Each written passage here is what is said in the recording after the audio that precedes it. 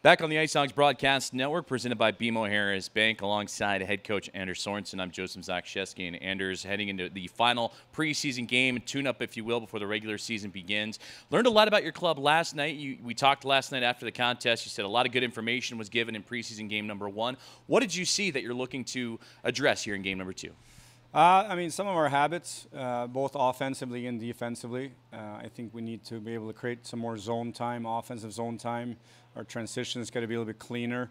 Uh, we clean those things up where I think we're uh, heading the right way. Chemistry already starting to showcase itself with a couple of lines. We talked a little bit about what you liked seeing, some groupings of guys yesterday, but it's preseason hockey. You mix it all up a little bit. What can you expect changes wise going into tonight? Uh, a couple of guys came out, right, with Reichel, uh, Dave Gust, and uh, Guttman.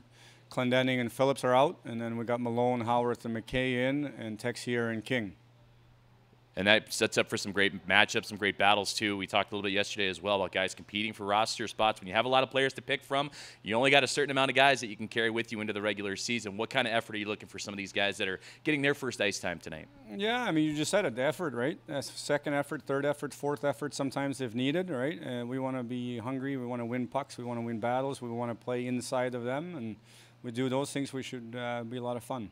Take us inside the coach's room when you approach a preseason game like last night and again here tonight. It doesn't always come down to winning, but certainly winning always helps. It creates a better atmosphere and a better mood. But when you're a coach sitting back and analyzing, when you only get two games to do so, what are you looking forward to the most? Uh, I mean, I think it's like you said, right? We, we try to collect some information of what, what areas we really need to focus on, uh, both individually and as a group. You've seen this Iowa Wild team now focusing on the team itself, whether it was in the development showcase and the Tom Kurvers prospects or even in the NHL preseason, now last night and tonight. I'd imagine with, with the crowd on hand here at Xtream Arena, the energy level might be taken up to a new notch. Yeah, it should be a lot more fun with some fans in the stands.